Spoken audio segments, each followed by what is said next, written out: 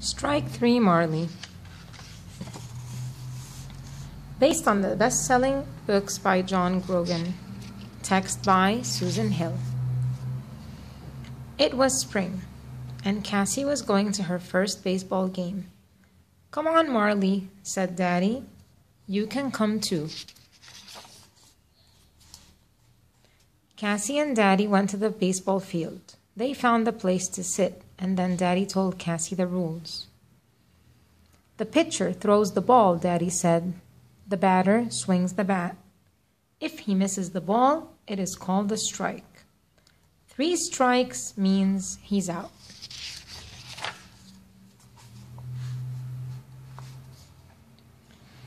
Daddy looked hard at Marley.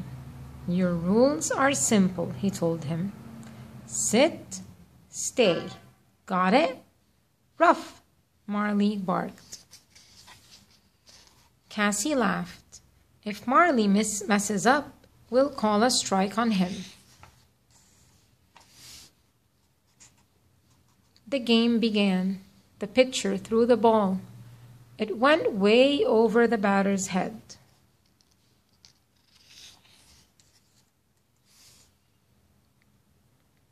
Marley tugged at his leash.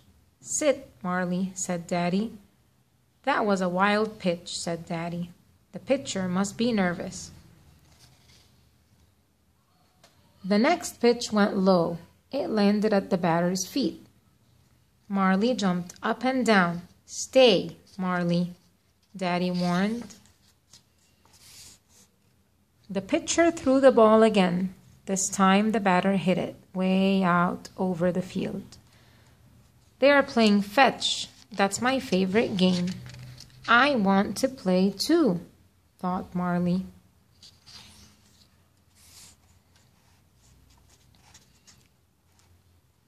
Suddenly, Marley broke free and ran onto the field. Sit, Marley. Stay, yelled Daddy.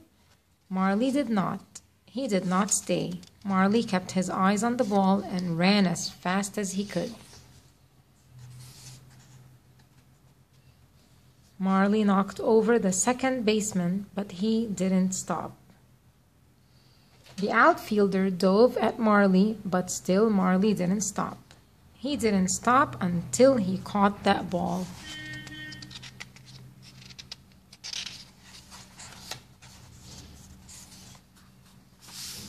Then Marley began to dig like crazy. The pitcher laughed. Sometimes I want to bury the ball too, he said.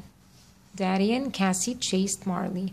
Marley ran away from them. Strike one, Marley, Daddy yelled. Marley ran to the batter's box and grabbed the bat in his teeth. Marley tugged. The batter tugged back. Marley tugged harder, and the batter fell down. Strike two, Marley, said Daddy.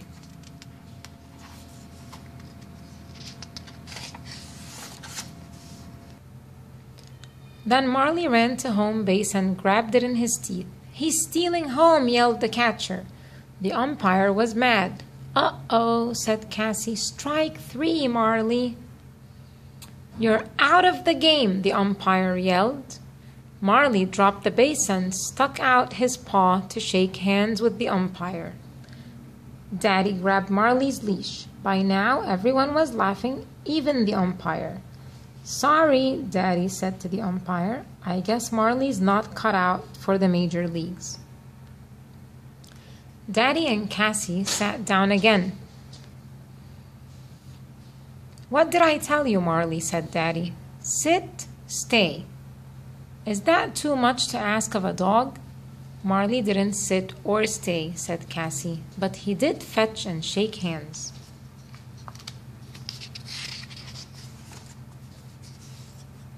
Daddy smiled. I guess you're right, he said. He's a pretty good player for a dog. When the game ended, the pitcher gave Cassie the ball. Thanks to your dog, I relaxed and pitched my best game ever, he said.